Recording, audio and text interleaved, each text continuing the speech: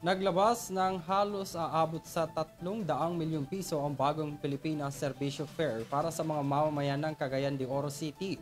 Pinangunahan niya ni House Speaker Martin Romualdez kung saan naghatid ng serbisyo at tulong ng gobyerno sa mga individual roon. Narito si Catherine Landicho para sa detalye ng balita.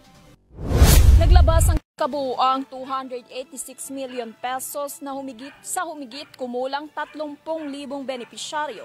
Sa Cagayan de Oro City o CDO, ang bagong Pilipinas Servisyo PERC kung saan ito ay programa ni Pangulong Ferdinand Bongbong Marcos Jr. na direktang naghahatid ng serbisyo at tulong sa gobyerno sa mga tao. Pinangunahan ni Speaker Martin Romualdez na kumakatawan kay Pangulong Marcos ang pagbubukas ng ikalabing pitong installment ng service caravan na naglalayong ilapit ng mga serbisyo ng gobyerno at programa sa tulong ng pinansyal para sa mga tao sa lahat ng 82 probinsya sa bansa.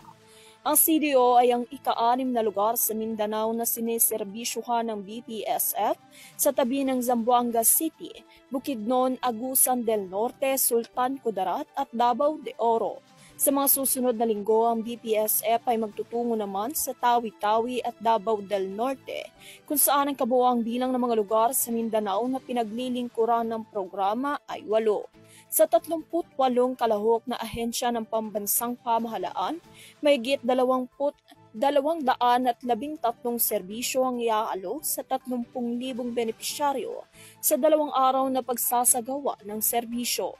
Sa 286 million pesos na ilulunsad, 180 million pesos ay para sa cash assistance. Kabilang sa mga serbisyong inaalok ng Department of Social Welfare and Development o DSWD ay isang malawakang off-site payout sa buong lungsod sa lahat ng barangay na inaasang abot sa mahigit 26,000 na benepisyaryo ng programa.